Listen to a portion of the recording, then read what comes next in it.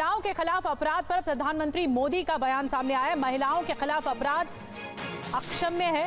यौन अपराधों पर फांसी उम्र कैद की सजा।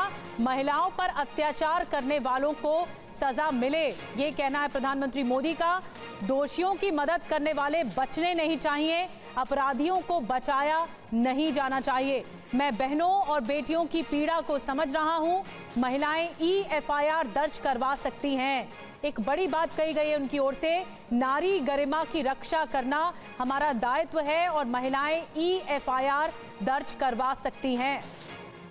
इसका कोई भी राज्य हो अपनी बहनों बेटियों की पीड़ा को, उनके गुस्से को मैं समझ रहा हूँ। देश के हर राजनीतिक दल से कहूँगा, हर राज्य सरकार से कहूँगा कि महिलाओं के खिलाफ अपराध अक्षम्य पाप है।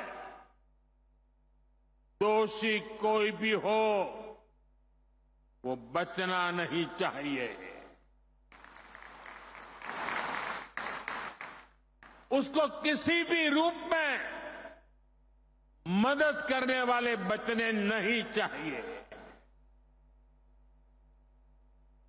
अस्पताल हो, स्कूल हो, दफ्तर हो, या फिर पुलिस व्यवस्था।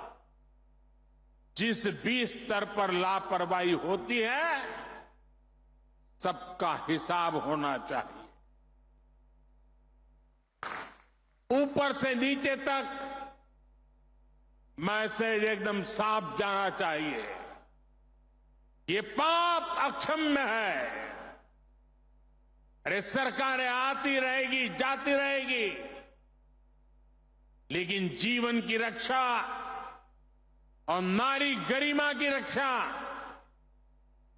इस समाज के रूप में भी और सरकार के रूप में भी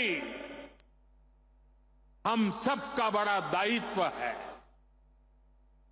साथियों, महिलाओं पर अत्याचार करने वालों को कड़ी से कड़ी सजा देने के लिए हमारी सरकार कानूनों को भी लगातार सख्त कर रही है।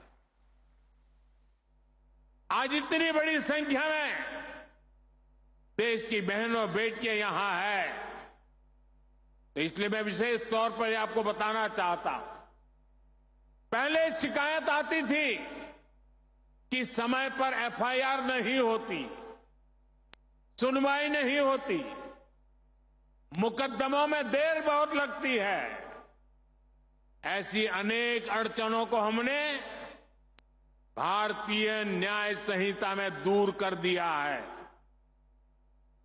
इसमें एक पूरा चैप्टर महिलाओं और बच्चों के साथ होने वाले अत्याचार के संबंध में बनाया गया है।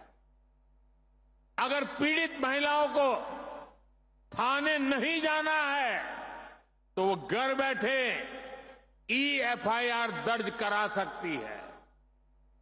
हमने ये भी पक्का किया है कि ई एफआईआर से थाने के स्तर पर कोई टाल मटोल या फिर छेड़छाड़ नहीं कर पाएगा।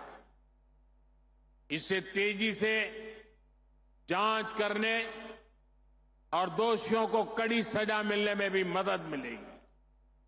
साथियों नए कानूनों में नाबालिगों से हुए यौन अपराधों पर फांसी और उम्र कैद की सजा का प्रावधान किया गया है।